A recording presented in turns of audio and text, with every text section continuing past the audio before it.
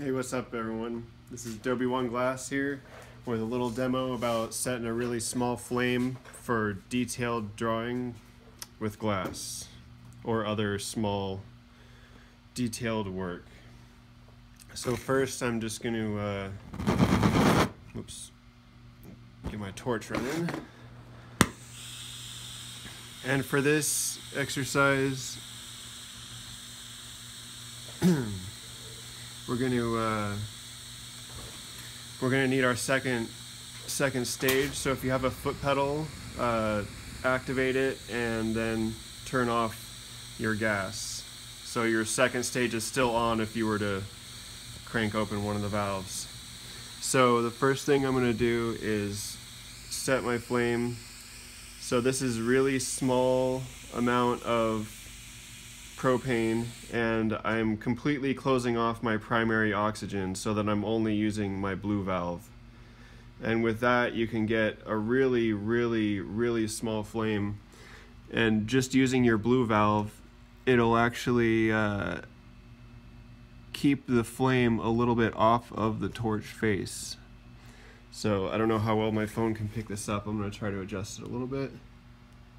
But if you can see up close, it actually isn't isn't physically touching the metal. So that you can do with just your uh, with just your um, propane and uh, blue oxygen. And so so this one is nice because you can still leave your outer flame on so that when you're you know you're doing detailed stuff you can kick on the outer flame to warm up your whole piece or keep everything hot. The second one I'm going to show is, you know, you're going to need your, your outer stage for this one. So you can get that really small flame there.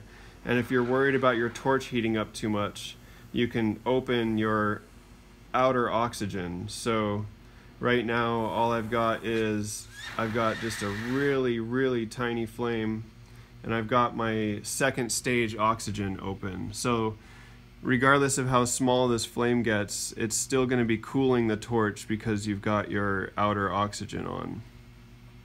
Um, and this way you can have your outer oxygen on and then just turn on your propane when you need that extra, the second stage. So you just crack on the propane and it is, you know, you can turn it up to where you have your oxygen set to.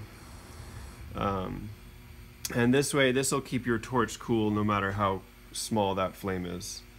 Um, yeah, and I mean, it's itty bitty here. So, you know, and then also the other thing you can do is just hold hold your piece a little farther away. So for something like this with a tiny stringer, you're not even going to be actually in the flame when it heats it up enough to melt because those stringers barely need hardly any heat to light. So as long as you have this tiny, tiny flame, you can, uh, you can do just about anything as small as you want.